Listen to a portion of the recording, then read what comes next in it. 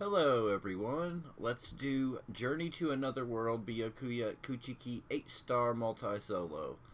So first in my party is Newt. And next is Infected Sif.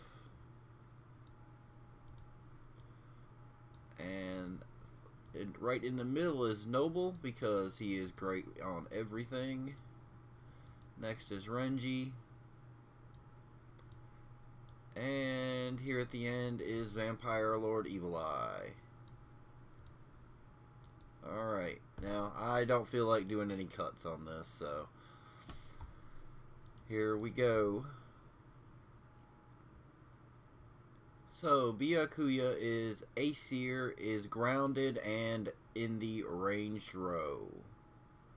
The only thing of his that's really have to worry about is Holy Chain, and that's if you use human, Jotun, and beast.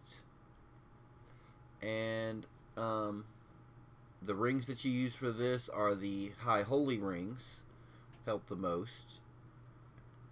And the method that I chose to go is to just hit him with fire. Fire and dark both work, but since I'm using Evil Eye and getting Fire Ring, it works really well. So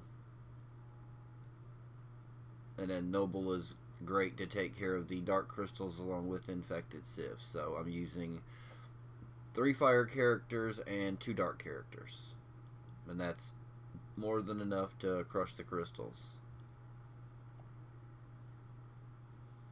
And uh, Byakuya gives his team quick. You know, because in the show he's fast. And there really isn't much to it. I don't think most of the longtime players are going to have much trouble with this at all. So that I'm multi-solo um, doing it auto, so it's not too bad.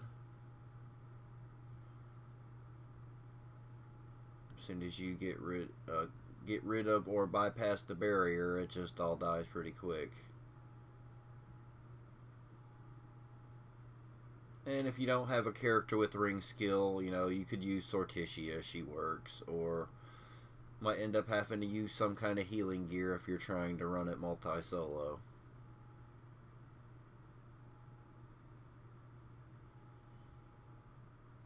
Now I'm thinking maybe Noble or Evil Eye is going to be the MVP. Should just be couple more hits. My my average time on this is about two two minutes thirty seconds left.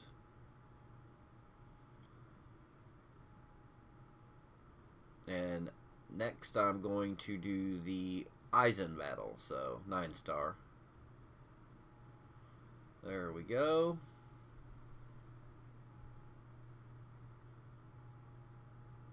If you hear a noise in the background, that's my loud PlayStation up there. I forgot to turn it off. And there we go. Thank you for watching.